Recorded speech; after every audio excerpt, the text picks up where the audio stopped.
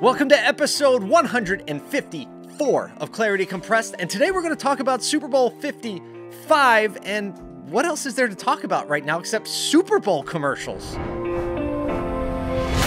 We're making our way through the fog of life, and clarity is understanding where we are on the map. You are here.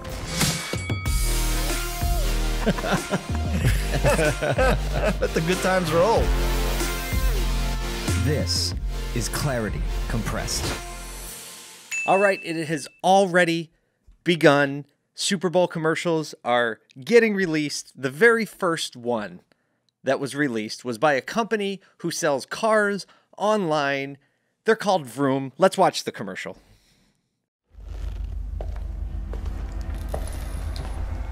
So, are you gonna buy the car? Please, if I could just go home and discuss things with my wife. I've been here all weekend. You can leave anytime you want.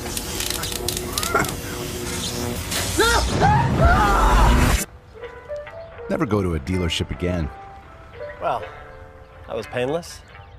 Go to vroom.com, buy a car, and we'll deliver it contact free. Okay, so Vroom is um, a lot of you are familiar with Carvana. So Vroom is Carvana, but red instead of blue. And basically, the value proposition is the same. Um, you can shop on your phone and you can buy a car digitally, and they will deliver it to your house. Now, this isn't the first time a Super Bowl commercial uh, about car dealers has kind of thrown them under the bus but but that's okay. So this commercial obviously checks off a lot of the boxes of a good Super Bowl commercial. Number one, it's entertaining. Number two, it's got kind of like um, I don't know.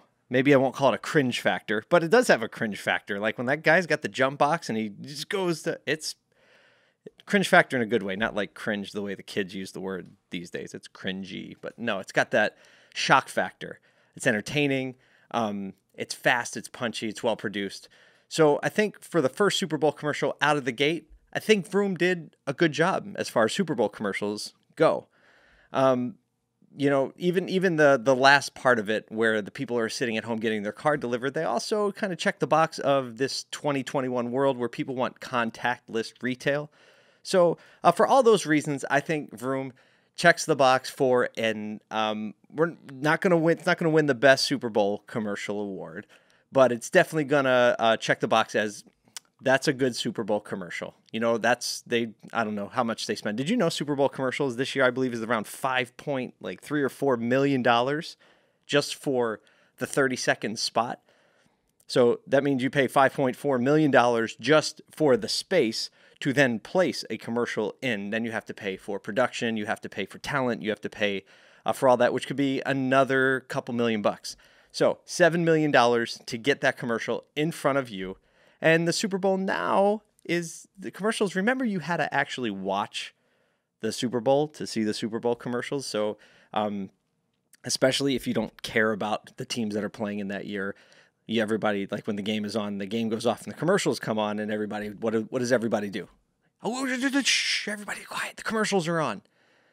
Right. So from that standpoint, Super Bowl commercials have a lot of value when it comes to the attention that they get because most people leave the room when a commercial comes on, but then in the Super Bowl, everybody comes to see the commercials when the commercials are on.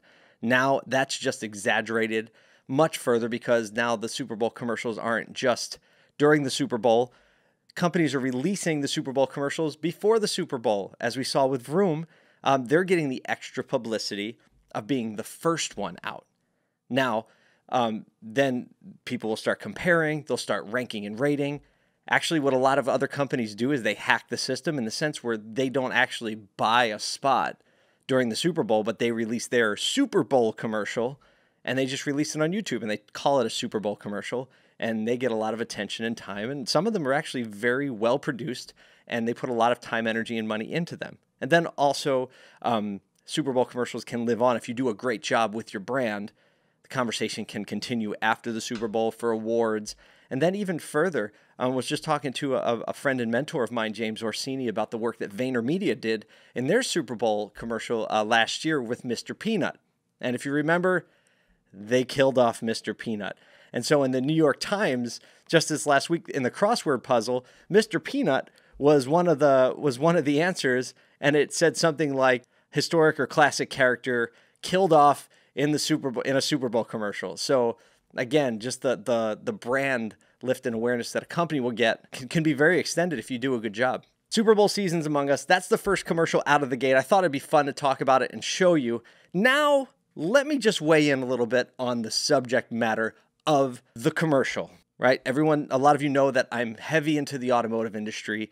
I know uh, a whole lot of auto dealers, some of the best people I've ever met, some of the most caring people I've ever met, some of the most generous people I've ever met. I bet if you take a car dealership in any community and you take the next five or 10 small businesses, that dealership invests in the community financially and just in service more than the next 10 or 20 businesses. It's just a fact. You know, and what Vroom is doing in this commercial is they're playing on the stereotype of what some bad actors and bad dealers have done in the past, and maybe some do today, honestly. But more than that, they add drama on top of it and they take a customer's perception and then they just crank it up to 11.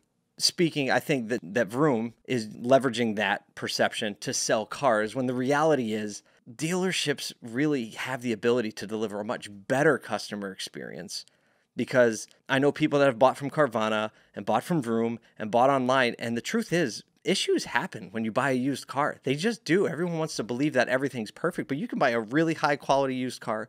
Stuff happens, and it's very difficult. I mean, Amazon has conditioned us to when we want to send something back, print the label, slap it on the box, the UPS people will pick it up, or you know you can drop it off at a spot. It's it's not the most convenient thing, but it's a lot easier than going back to a store.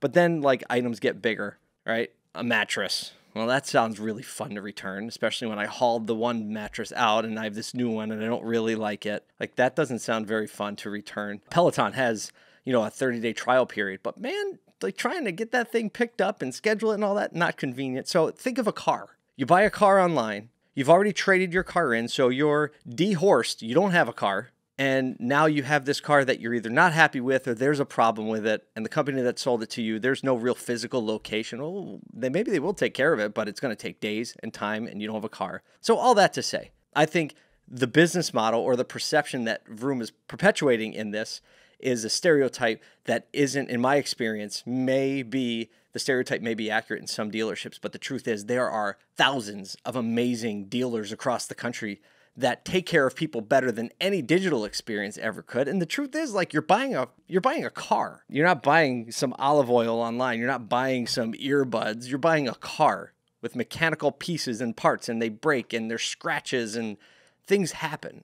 Um, that's just, I guess, my two cents. And maybe I'm a little defensive because I'm in the automotive industry and I know so many amazing people. And I've never seen a group of people get together, especially the innovative dealers. I've never seen a group of people care so much and put so much time, energy, and attention into what the customer actually wants to do and how can they deliver that experience. And and so like I see that ad and it's a good Super Bowl ad. Objectively, I think it's going to do great for them. I think um, you know they are spending borrowed money. It's not a profitable company or a tech company that raised a lot of money. So, you know, they're spending borrowed money. It's a lot easier to get, you know, leverage that spend and make a big splash, and then we'll figure it out on the other side. I mean, Carvana did the same thing. They weren't profitable forever, and now they're profitable, so they figured it out. Is will Vroom figure it out? We'll see. But the truth is, a lot of the auto executives in that company, they actually were a part of creating the stereotype. So it's a little bit, I don't know all that to say, we're going to have a lot more Super Bowl commercials to talk about really soon. It's really one of my favorite times in advertising because they just get, I mean, it's one of those times you get outrageous and have a lot of fun. And um, it's just a lot of fun to be a brander in that world because Super Bowl commercials, let's be honest, they play in the world of brand. They don't play in the world of selling you a product for, you know, 10.99 or 199. They, no, they want to make you feel a certain way. And if they make you feel a certain way, you'll move either closer to or further away from the brand. So uh, for a brander, for an advertiser, for a marketer, it's just and a, and a football fan, it's a lot of fun. Even though the Eagles aren't in the Super Bowl, which means I'll get to spend that much more time paying attention to the commercials. So thank you for paying a little time and attention to this show. I hope you had a little bit of fun. I hope uh, you saw something that, that made you happy, uh, made you think a little bit deeper about what you're doing in your business and your life.